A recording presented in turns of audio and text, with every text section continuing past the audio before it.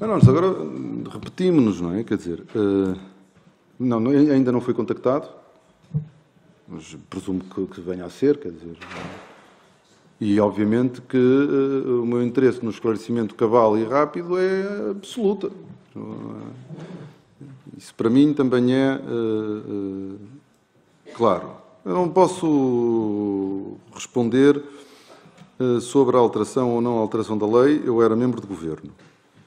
Aquilo que sei é que o Governo pede um parecer, o Governo já achava na altura que, havia uh, uh, que a lei não podia ser interpretada literalmente, senão uh, punha em causa a Constituição. O parecer do Conselho Consultivo comprova isso.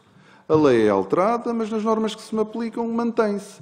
E, portanto, do ponto de vista do Governo, as dúvidas que foram levantadas foram resolvidas no quadro desse parecer e mantêm-se na interpretação que o Governo faz desse parecer, embora possa haver outras pessoas que façam outras interpretações. Chegados aqui, obviamente que a decisão final é das instâncias competentes e nós temos de as uh, respeitar e é assim que será, como é evidente.